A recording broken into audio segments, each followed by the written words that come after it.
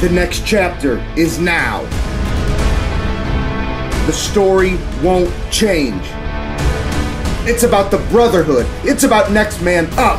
It's about a willingness to do whatever it takes and to let it go.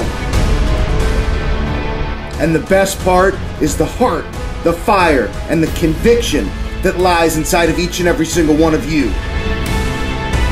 People try to understand the bison culture, but they never will. Now it's all about accepting the challenge that lies in front of you. Don't worry about last week. Don't worry about next week. Continue to take it one day at a time, locked in and focused.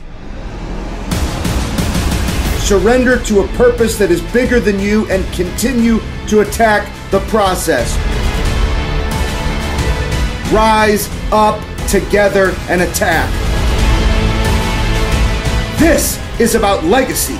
This is about the heart of the bison. Your time is now. Max effort pays off. Let's go to work.